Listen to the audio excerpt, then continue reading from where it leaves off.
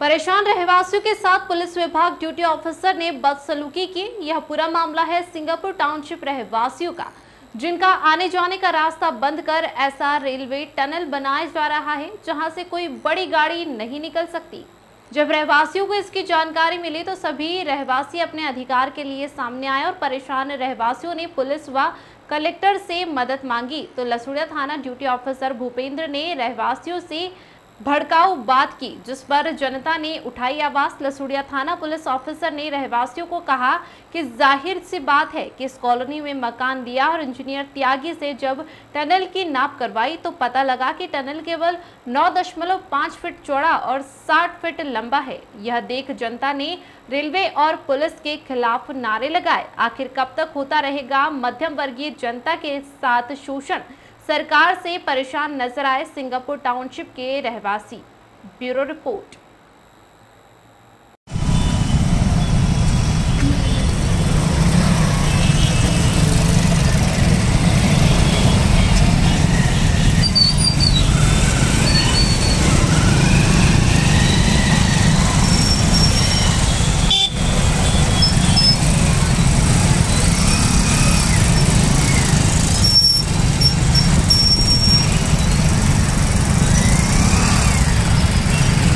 खतरे में आ गई है इस समय आज रेलवे वाले भी आए हैं क्या बात है? मेरे ख्याल से रेलवे वालों को भी थोड़ा सा पहले सबसे कंसर्न लेना चाहिए था और नागरिकों की सुविधाओं को ध्यान में रख के ही कोई काम कंस्ट्रक्शन आगे बढ़ना चाहिए था जो अब ये बहुत आगे बढ़ चुका है। सर पहले पहले आबादी यहाँ चार हज़ार। रेलवे के खिलाफ हमने नारे लगाए क्योंकि रेलवे के शिक्षक अधिकारी होते हैं, उनको पहले सर्वे करना था, पीछे चालीस हज़ार आबादी है, कल को वो अस्सी हज़ार होगी। अस्सी हज़ार आबादी को कनेक्ट होने के लिए, निकलने के लिए कितने चौड़े रास्ते की ज़रूरत है, ये पूरी रिपोर्ट रेलवे प्रशासन के पास होनी चाहिए। सिर्फ़ उन्होंने कोई कोई रिपोर्ट उन्होंने चार साल पहले बनाई और आप उसको आज इम्प्लीमेंट कर दें और वो सुरंग है जिसमें ना हमारी कोई सुरक्षा है हमारी सुरक्षा की गारंटी कौन लेगा? मैं शिवराज मामा से पूछना चाहती हूँ क्या वो किसी हादसे का इंतज़ार कर रहे हैं कि किसी क्या शिवराज मामा इंतज़ार कर रहे हैं। शिवराज मामा हादसे का इंतज़ार कर रहे हैं। यहाँ के पुलिस अधिकारियों को बोल रहे हैं तो बोल उनका कहना है कि आप लोगों ने प्रॉपर्टी गलत ली यहाँ पर आप आप लोग? आप मूर्ख हो आप आप लोग अनपढ़? पुलिस अधिकारी ने बड़ी बड़ी पुलिस अधिकारी ने पीआई साहब बैठे हमारे यहाँ के। उन्होंने मैं रात में आ रही थी। मैं रात में आ रही थी। बिना बताए ये ऑफ़िस बंद कर दिया गया। मैं वहाँ से दो बजे रात तक निकल के अपने घर पहुँची। और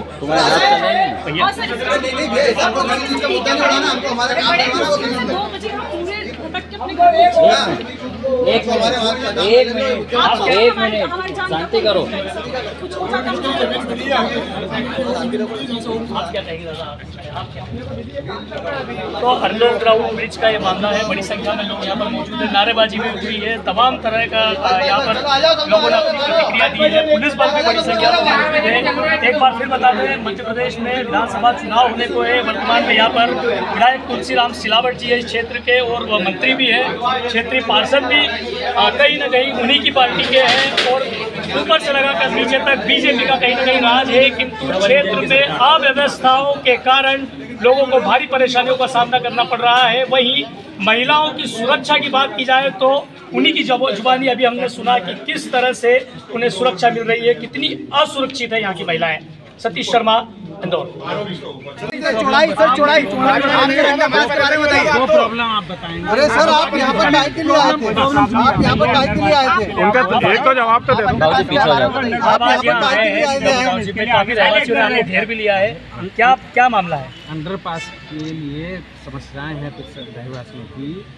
वो जो समस्याएँ बताएँगे